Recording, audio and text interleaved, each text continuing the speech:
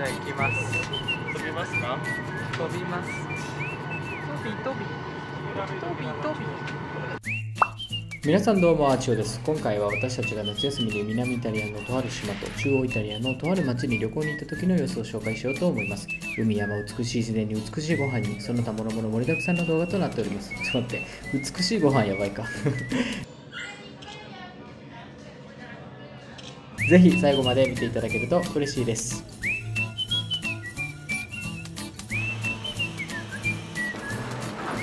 着ちょっとこれからバスに乗って自分たちのね泊まるフォーリオかな？フォーリオ。フォーリオっていう町にね行かなきゃいけないのでこれから行きます。はいはい。行きましょう。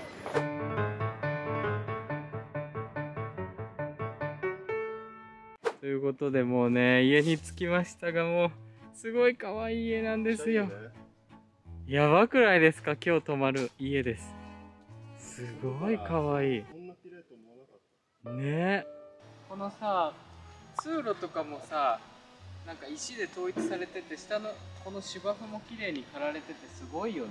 ためちゃくちゃ整ってるね。しかもこのレモンの木かな。すごい南っぽいよね。なんかボンタンみたい。はい。なんかこういうさちょっと古びた感じもまた可愛いよね。いいね。ねちょっと見てこっからの景色。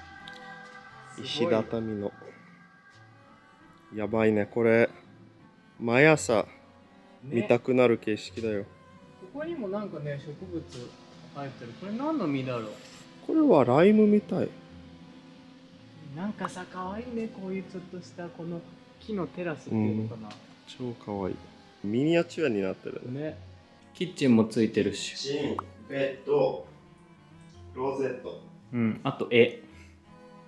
街をね散歩していきましょうかあれさん。はい。ランチはまだしてないからちょっとそうそう。それ甘いもものをメインに。食べつつね。そう。じゃあ行ってきます、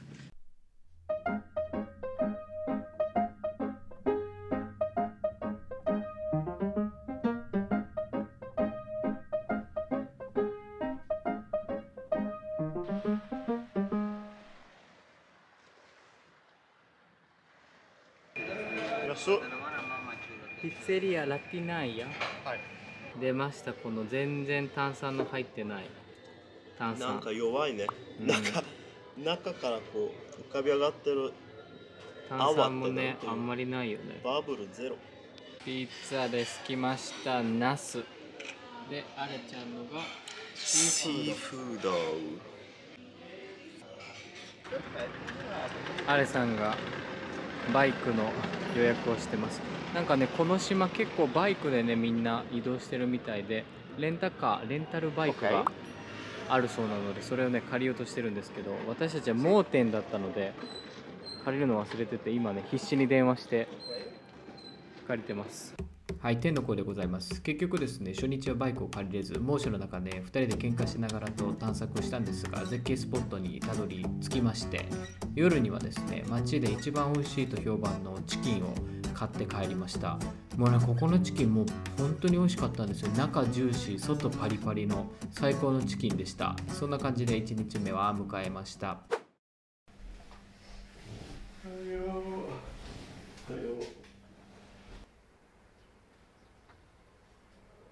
早いね朝、はいコーヒーができました。2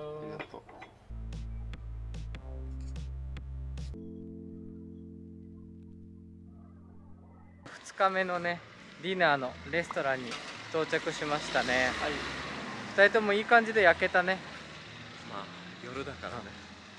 あんまり白さが目立たない。すごくないですか皆さんこのビュー。アンティパストですね。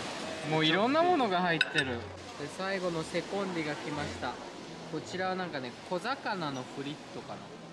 そうフリットディパランサ。これ大きいねなんかね。ねこれは全部冷凍品じゃないよ、生のね、いただきましょう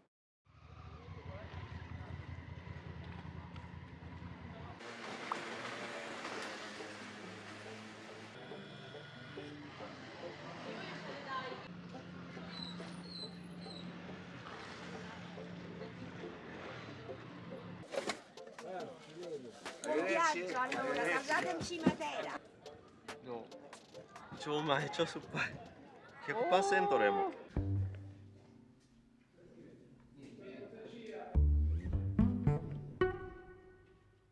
超でかい。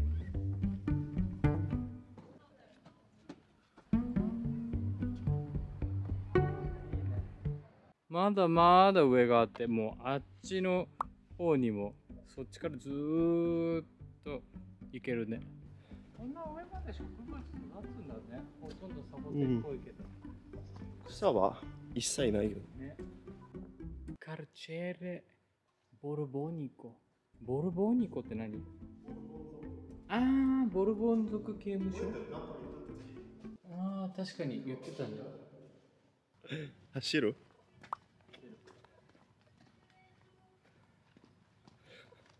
早く歩く。それぐらいできる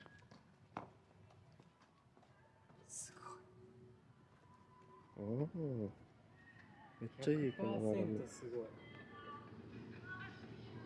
広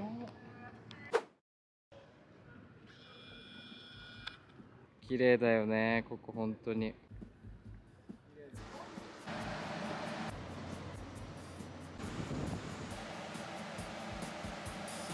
次なる目的地中央イタリアのペルジャに向かうためコントンとピザの街ナポリに行った戻り電車に乗ってローマに向かいました。ローマでは博物館を見てこれまで食べた中で一番美味しいジェラテリアに出会いパクパクパクパクともうねめちゃくちゃ美味しかったですここ。ローマといえばでおなじみのカルボナーラを食べ1泊し朝起きて電車に乗ってペルージャへと向かいました。ペルージャ。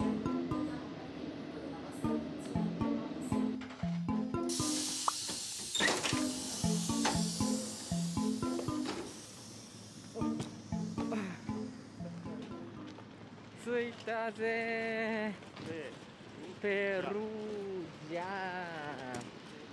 ここはペルーですルージャペルージャと頭です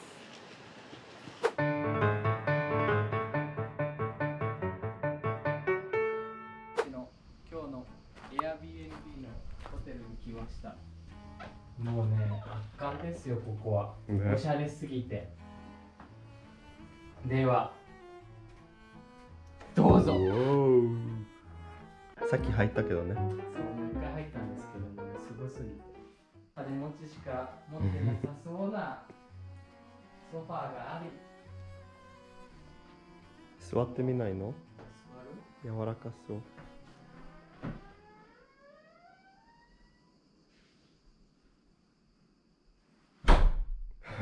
もいますあっちの景色も最高です。ウンブリア州の山がそびえてるよね。あっちにね黄色い家も見えるけどそれもね可愛いんですよ。レモンの木もなかなかおしゃれだ。愛の部屋を紹介します、こちらです。愛の巣。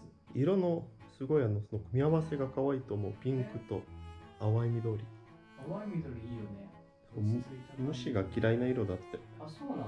そうあとはここがクラシックトイレもう大きいねこれ。ちょっと200年前の木らしいよ。規模が大きいから走らないとなかなかそう。もうすごい時間かかっちゃうからね逆か。秘密がある。だらーんこの中央のね井戸かな？池かな？ちっちゃい水たまりみたいなとこがあるんですけど。もう立派な？池？なんていう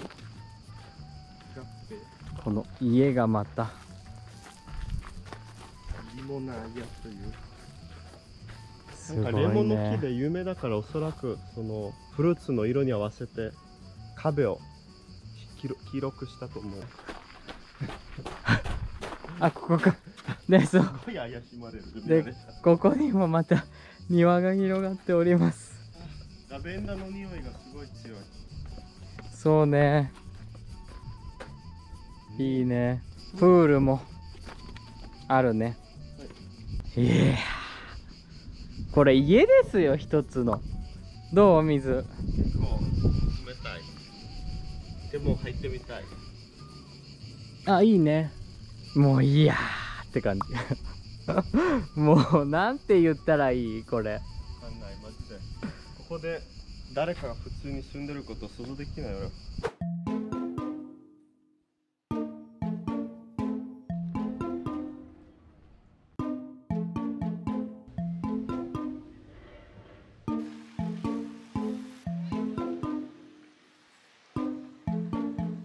これからお昼ご飯を食べに行きましょうか。トルタルテストトルタルテストしょっぱいパニーノみたいハムとサラミとかが美味しいんだサラっけミとパン自体が面白そうだからちょっと食べてみたいなんかこのね綺麗なパッケージパンチェッタえペコリーノハムとプロボラうんやば個人的に9点ダメだ。最高に肉肉しい。美味しいんだ。そして最高にしょっぱい。俺の好きなしょっぱさこれ。よかったよかった。ああこれね胃もたれするしょっぱさ超うまい,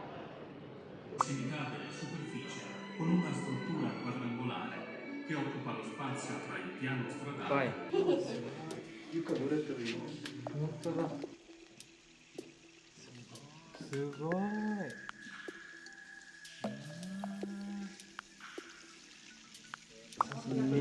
構造で支えてたんですね昔は。すごいな。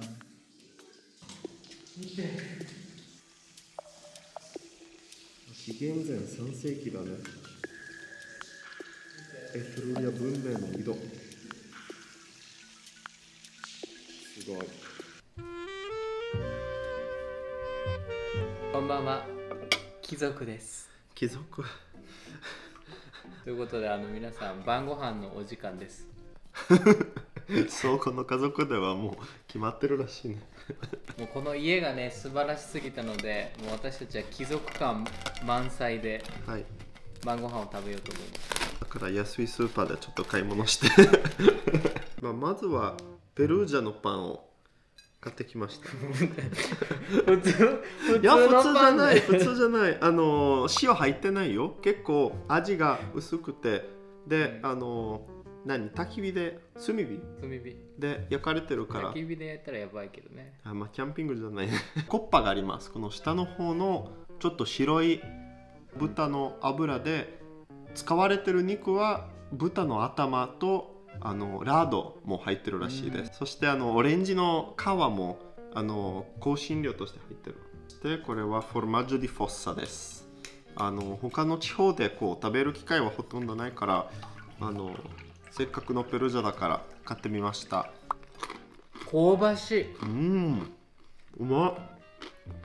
なんか薄さは皆さん焼肉のタンみたいな薄さなんですけど、見えるかな、うん、もうね脂身しっかり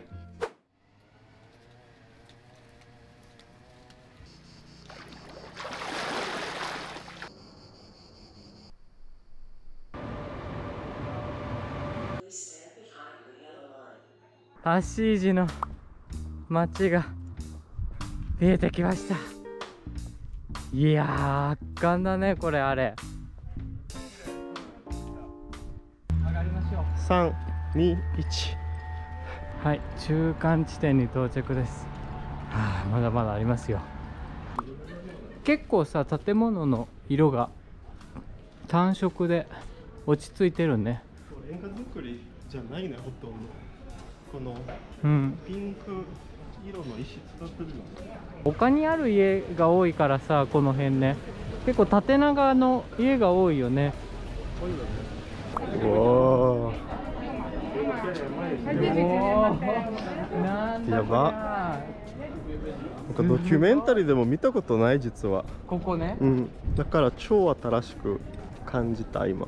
なんだこの入り口がこんなにさ広けた教会ってないよね。って言ってもこじんまりしてるよね。あとアーケードちっちゃいじゃん。確かに横のね。うん。こんな大きい見て うー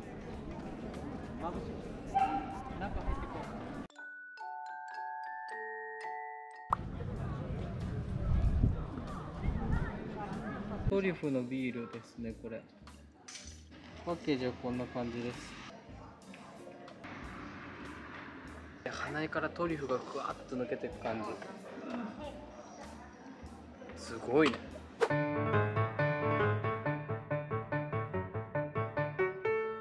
守備のレストランに来ました。生のトリュフのフレークとうん。オリーブオイルの味がすごい美味しい。野菜のねいい旨味が出てます。チーズはどチーズはねいっぱいかかってるけど家に濃くなくてパスタとねいい感じで絡んでる。これから帰ります。ペルージャの街は坂が多いのでこんなねスカラモビル、えっと、エスカレーターがねあってこれで降りられるようになってますよ。すごい。2つか3つぐらい続いてるらしい。面白い